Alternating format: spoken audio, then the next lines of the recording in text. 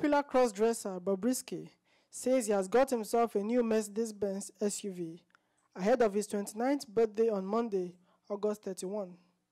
The Lagos-based socialite shared a video on Instagram on Friday, August 28 to break the news. In the video, Bobrisky calls himself a big girl, asking his followers to count how many cars he now owns. Birthday gift came early, yay! Biggest girl ever, Bobrisky captioned the video.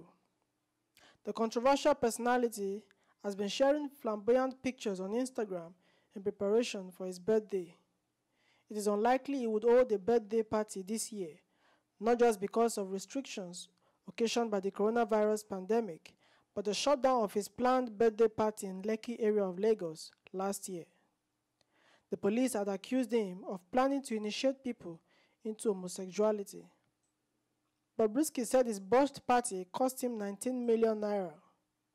The Instagram sensation had got himself a 2019 Range Rover for his 28th birthday. Announcing the arrival of the car last year, he wrote, I've always dreamt of this car since last year when the 2018 came out. I told the car dealer I want the 2019 while we are in the year 2019. At first, the price tag was scary, but I said to myself, I can make it. How I paid over 30 million plus on this car, I don't even know. Now the car is right in my compound smiling at me. Congrats to me once again. The arrival of the car, however, did not come without controversy, as the dealer had initially repossessed it following Bobrisky's failure to meet up with the payment schedule. The Range Rover was among items confiscated when the police invaded the venue of his birthday party. It was later released to the car dealer's agent after providing necessary documents.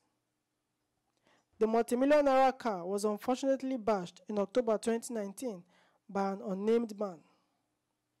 The man also smashed Bobrisky's iPhone 11 Max on the ground, resulting in a physical battle.